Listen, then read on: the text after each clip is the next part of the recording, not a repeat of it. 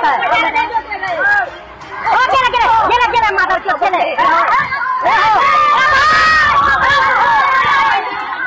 नमस्कार दोस्तों, स्वागत है आप सभी का आपके अपने YouTube चैनल पर। जी हाँ दोस्तों, अभी की सबसे बड़ी और लेटेस्ट अपडेट निकल कर आ रही है। आपको बता दें कि अभी अभी राजस्थान में भयंकर हादसा हुआ है। आपको बता दें कि बीते कुछ दिनों के दौरान राजस्थान के अधिकांश क्षेत्रों पर मानसून का भयंकर तांडव देखने को मिला, जिसके चलते कई स्थानों पर बारिश से अति भारी बारिश की गतिविधियाँ रिकॉर्ड की गई और कई स्थानों पर नदी नाले उफान पर हैं। तो कहीं गाँव डूब चुके हैं। अभी की सबसे बड़ी खबर निकल कर आ रही है है आपको बता दें कि राजस्थान की इस बार मानसून सीज़न में लगभग पंद्रह लोगों की मौत हो चुकी है। अभी की सबसे बड़ी खबर निकल कर आ रही है। आपको बता दें कि मौसम विभाग ने भी आने वाले 24 घंटों के दौरान राजस्थान की अधिकांश क्षेत्रों पर बारिश से अति भारी बारिश की चेतावनी जारी कर दी है। आपको बता दें कि राजधानी जयपुर, अजमेर संभाग भरतपुर संभाग अलवर, भरतपुर, धौलपुर, करौली, सवाई माधोपुर, भीलवाड़ा, बूंदी, टोंक और जो कोटा बारा झालावाड़ के क्षेत्र हैं, उदयपुर संभाग चित्तौड़गढ़, प्रतापगढ़, डूंगरपुर, बांसवाड़ा के भी